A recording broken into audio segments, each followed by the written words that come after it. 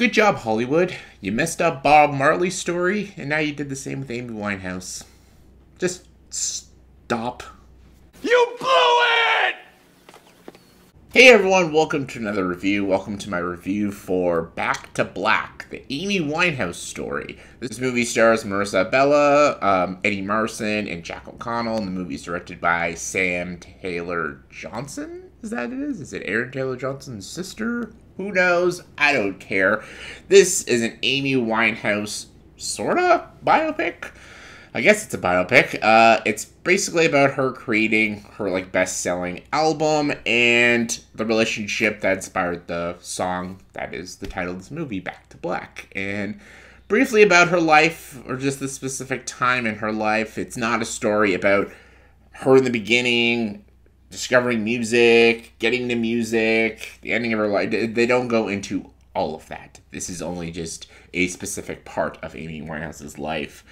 And uh, just like the Bob Marley movie that came out months ago, this movie sucks. I'm not sugarcoating this one. I'm not going to try to be nice or get brownie points with Hollywood because who cares? when they make a bad movie and a disrespectful movie, I gotta call it out. This movie is not good. It is not well written. It is not well directed. Uh, the acting is average. Uh, Marisa Marisa Abela, uh, she is trying. She's doing a pretty good Amy Winehouse impersonation. It's not. It's not like a top notch performance. It's it's not it's it's something I was I was expecting something just a lot more grander and just more real and raw. Maybe they would would have gotten that with a better script and maybe a better director. Um, the music scenes were also not that captivating. Uh, I thought Jack O'Connell was pretty good. Eddie Marsan was okay, but for the most part, the acting isn't top notch. Uh, I like that this movie is unr rated, though. It's very vulgar. It's very dark. It shows the dark side of Amy Winehouse's story. The movie had balls to actually show that, show the grittiness and the rawness of Amy Winehouse, unlike what Bohemian Rhapsody couldn't do and the Bob Marley One Love couldn't do. At least this movie did have the balls to show the darkness, the drugs, the swearing, the profanity, all this crazy shit and stuff. It's just the story itself isn't that captivating it's just not interesting how they tell the story.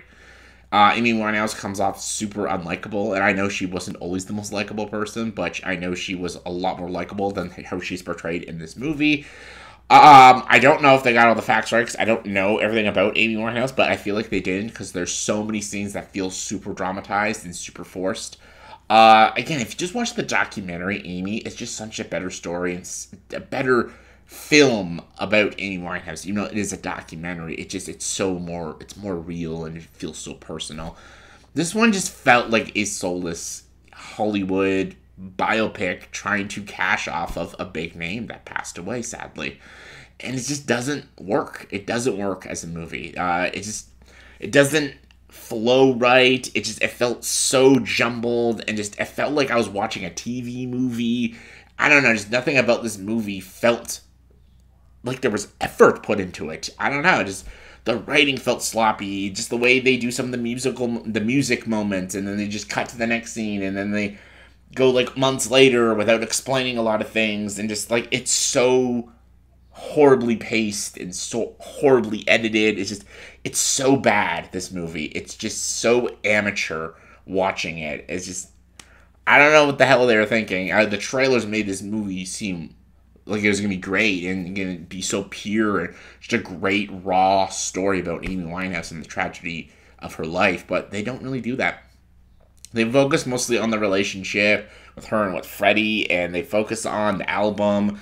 They focus on like the dark side of her life and dark side of shit she's done, but they don't go too much of her backstory and the ending of her story. And there's just so much things they left out of this movie. I just I don't know what they were thinking. What the hell? They, I don't know what they were. It was like when I was watching the Bob Marley movie. I was so excited for the Bob Marley movie, and I just left so like frustrated. And it was the same with this. I was like, they did it again. They did it again. Two movies in the same year about biopics about movies. These are biopic movies about singers that should have been made and should be made well, and they're both just so lazy and just shit and disrespectful because uh, talents like Amy Winehouse and Bob Marley deserve great movies about them, not this crap. Super disappointed. Did not like this movie at all. I know the lead actress was trying her best. I could tell she was a fan of Amy Winehouse. I could tell there was effort put into this. It just it was not bad. It was it was badly directed. The director didn't direct these actors properly. Jack O'Connell at least is a great actor, so even with a shit director, he can still give you a good performance. But the movie is not good, and I I was just so annoyed watching this movie. And when it ended, I'm like, yeah, that is this is right there with Bob Marley as one of the dis- most disappointing films I've seen this year. So do not go see this movie.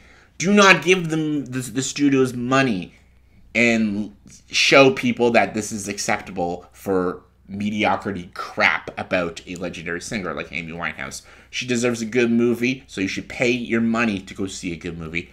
This is not a good movie. Skip it. On a scale of 1 to 10, I'm going to give Back to Black, Amy Winehouse movie, a 3 out of 10.